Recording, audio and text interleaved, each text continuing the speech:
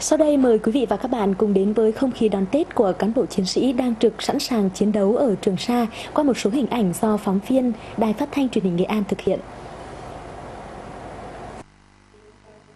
Dù xa đất liền, thiếu thốn về mọi mặt, nhưng không khí đón Tết Nguyên đán tại quần đảo Trường Sa vẫn đúng với phong tục cổ truyền của dân tộc ta.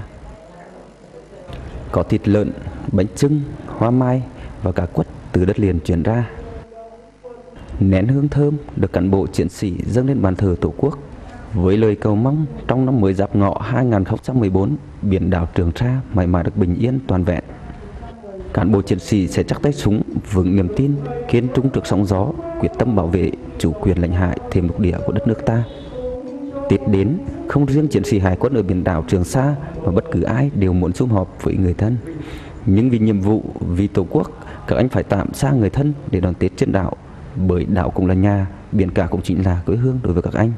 Thưa quý vị và các bạn, ở trên quần đảo Trường Sa nói chung và các điểm đảo nói riêng, thì hiện nay cán bộ chiến sĩ à, hải quân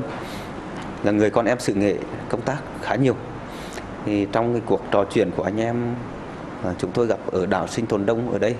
thì chúng tôi có mà ghi nhận một số, số lời nhận gửi của anh em cán bộ chiến sĩ ở đây về quê trong những ngày xuân về tết đến đây năm thứ hai à, tôi được à, đón tết trên quần đảo trường sa. Thì à, tôi cũng xin hứa sẽ cố gắng hoàn thành được tốt cái nhiệm vụ mà đảng nhà nước giao phó xứng đáng về truyền thống cách mạng của gia đình quê hương, đất nước. Sau tôi cũng cho tôi xin gửi lời hỏi thăm tới gia đình, bố mẹ các anh, các chị và em đang đón xuân ở quê. Qua đây cho tôi gửi lời hỏi thăm tới uh, tất cả uh, nhân dân xứ nghệ